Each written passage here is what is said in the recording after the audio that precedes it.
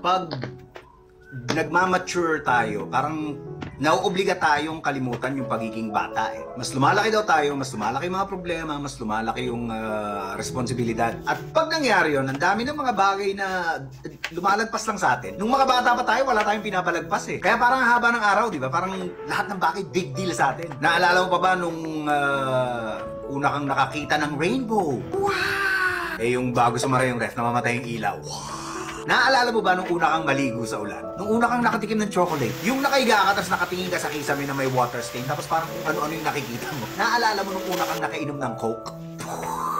Sa maniwala kahit sa hindi, ang dami pa rin mga ganun sa paligid natin. Mga bagay na hindi pa natin alam. Pero dahil mayayabang na yung mga mature na mga sarili natin, hindi na natin ini-enjoy yung kababawan. May mga nagsasabing matanda na tayo kaya hindi na tayo naglalaro. Pero ang totoo, hindi na tayo naglalaro kaya tayo tumatanda. Sana huwag niyong hayaang mawala yung inner child ninyo. Huwag tayong maging isip bata.